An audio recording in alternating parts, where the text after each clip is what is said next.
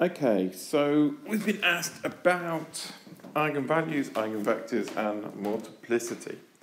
So um, we're going to start, rather than looking at, we're going to think about what we mean by an eigenvalue, eigenvector. So I've written here my equation, ax equals lambda x. So let's think about what that's actually doing. I like to sometimes think of it as, imagine I've got a vector A, and I have a vector and it sort of comes into this matrix and this matrix somehow moves the vector around. It changes the vector. It, it becomes something new, maybe a new vector y. So it's almost like a little black box. So this is my little black box. It takes a vector and then when I do this multiply it sort of moves it around and you get a new vector. So what's so cool about an eigenvector? Well, the thing about an eigenvector is I take my vector in this black box and what happens is I get a lambda times x. So it's almost like, imagine, you know, I've got this vector that looks like this. And then I sort of have this transformation to it, this A, and this vector gets moved. So it's basically, it looks the same, it's in the same direction, but it's a multiple. It might be multiplied if it was a negative eigenvalue in this direction, or it might be the same if we had an eigenvalue of 1, or it might be twice as long if you had an eigenvalue of 2. But it took this vector here and it just moved it. But when it moved it, it was still in the same direction, which is sort of quite cool. It's like um, it's almost like what are the points that this vector sort of returns them back again, and the eigenvalue is the amount it gets multiplied by, but it's still in the same direction. Okay. Now, that so far we've been talking about something with multiplicity 1. But what would happen if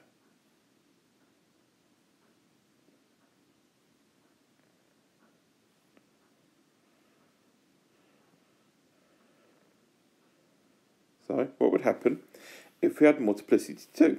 So let's imagine I have an eigenvalue, lambda equals, say, 3 and it has multiplicity of 2. Well, if you work through, you would find that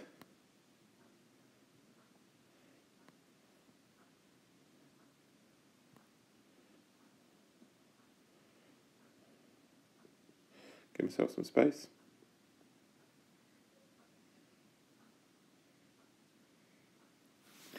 You would find now that when we actually do the calculation, we would have two eigenvalues. So before we said, well, what are the what's the line that this would lie on that would get just basically moved along the line? So we had, you know, multiplicity when we had this line and they got moved along by that amount. But now we've got eigenvalues and we're saying, well, we've got two of them. So what are two eigen, sorry, not two eigenvalues, that's rubbish, two eigenvectors. So let me um, start again. So if we've got multiplicity 2, we're going to have two eigenvectors. Well, these two eigenvectors will be, by the nature of them, um, linear independent, and they're basically going to describe a two-dimensional space. Or in other words, there's now going to be a plane of vectors that, if you line it, just get multiplied. So imagine I've now got my three dimensions. And let's say I have my, I said we had three, and let's say that the vectors ended up being 0, 1, 1, 0, and 0, 1, 0. So basically that is this plane here. This is x, this is y and z. This is the xy plane. So any vector in this plane now is basically going to be returned and just multiplied by the length 3. And if we had a multiplicity of um, 3, we'd have a three-dimensional space. Vector in that would be returned, but now multiplied by whatever the eigenvalue is. So when we talk about multiplicity, we're saying what is the subspace described by that eigen value.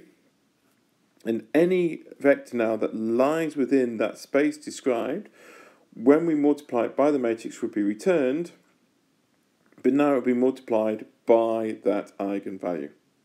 I hope that sort of helps a little bit. Cheers.